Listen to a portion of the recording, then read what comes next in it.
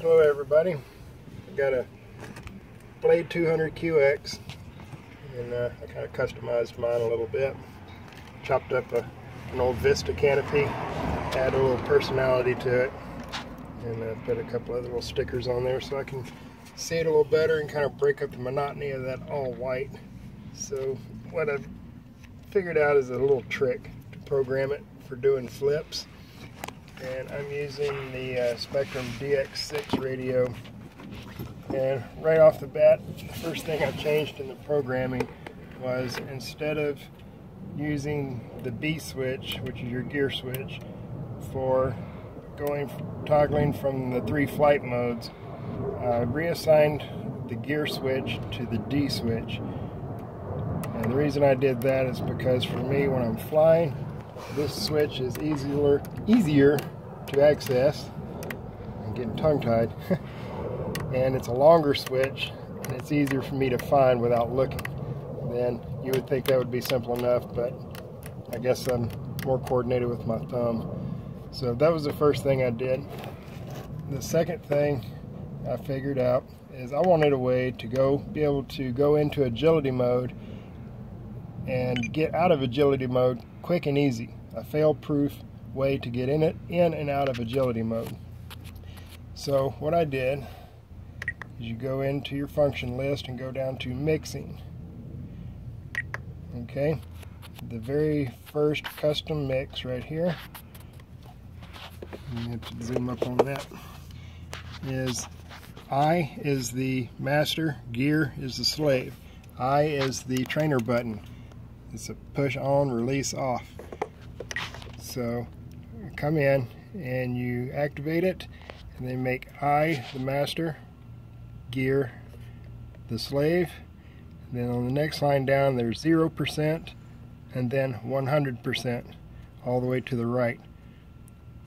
And there's zero offset. The switch, this function becomes active when you turn the radio on. And that's all you have to do.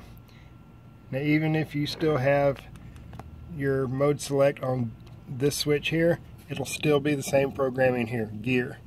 It's just I've just reassigned the D switch to be the gear switch. So it doesn't matter which switch you have it on, however you like it, this little mix right here will stay the same. So I'll plug a battery up into the quadcopter and I will explain how this works.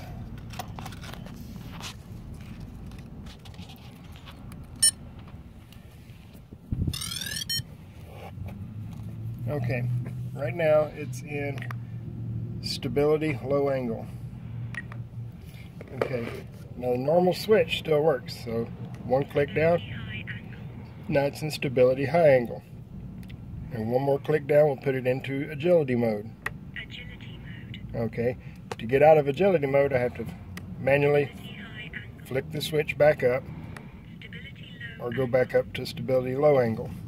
Now what this does is when I push this button, it will bump it up to the next flight mode from where it's currently at. So if I'm in stability low angle and I push the button, it will push it into stability high angle. And when I let go of the button, it goes back to stability low angle. So if I start with the switch in stability high angle, I push the button, it goes into agility mode. When I let go of the button, it goes back to stability high angle. If I'm in if I'm in agility mode and push the button, it doesn't do anything. You got to manually get your butt back out of agility mode. It this only works if you're in stability high angle. You can go into agility mode by pushing the button and you can get out of it by letting go of the button. For me, if I get into a panic, it's easier for me to just let go of stuff than it is to try to find what damn switch to click and get it back into a safe mode before it hits the ground. My brain doesn't process shit that fast. I'm too old for this. so, I will show you how it works in the air.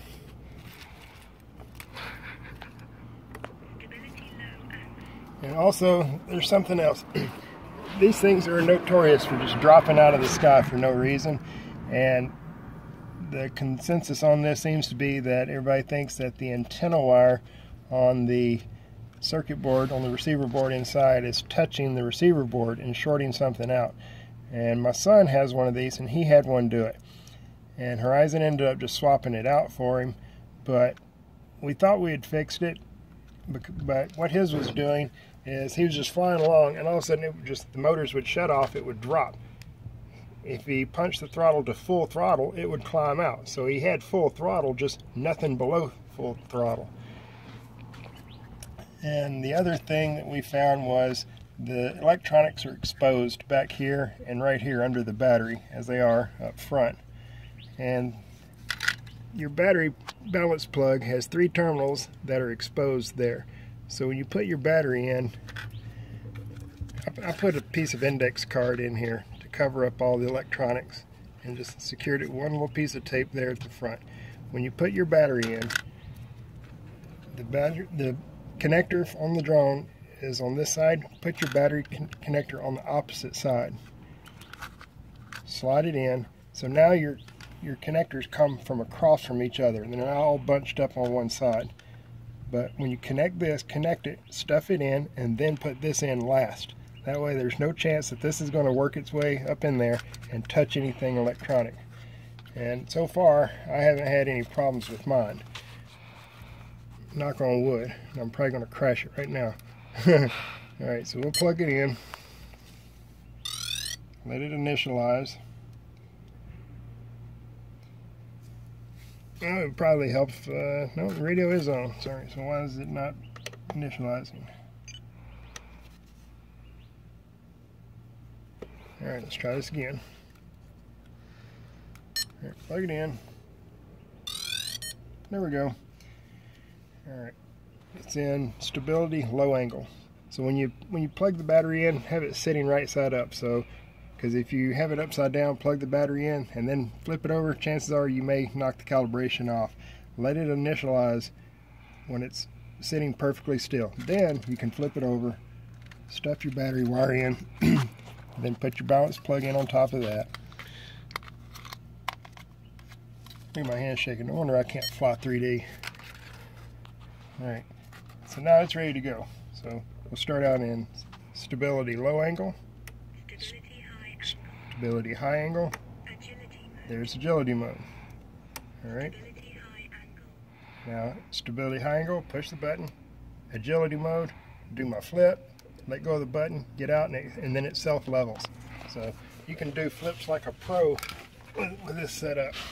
People think you're good. When in reality, you're like me. You're not really that good. All right. So we'll start the motors up.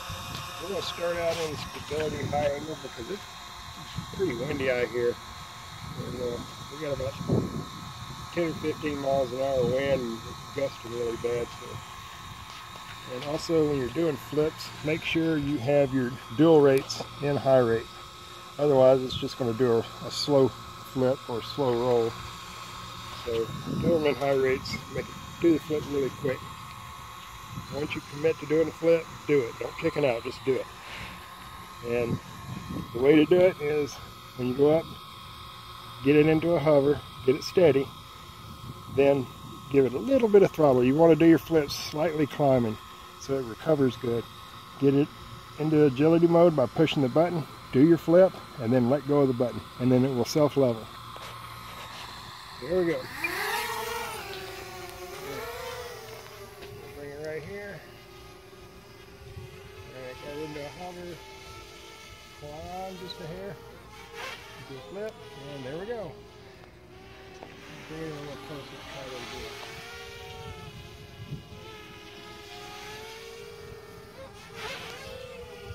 ready to catch it with the throttle when you come out of the flip.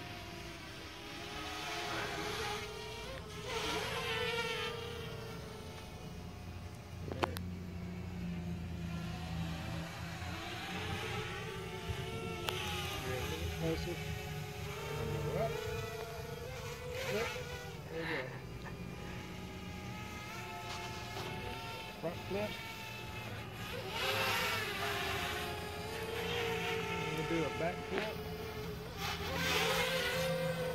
When I do sometimes it turns a quarter of a turn.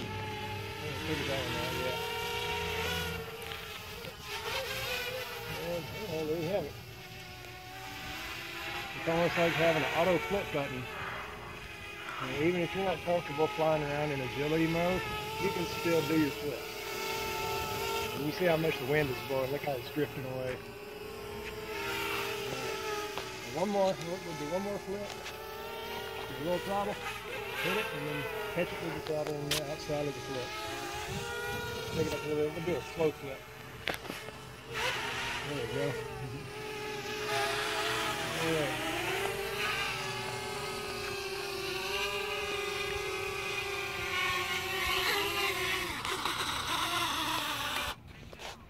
Alright, so anyway, there's how it works. If I can do it, you can do it. So let me know if this helps out for you. If you have any questions, just uh, post it in the comment section and I will answer any comments. And, uh, and that's pretty much it. Thanks for watching.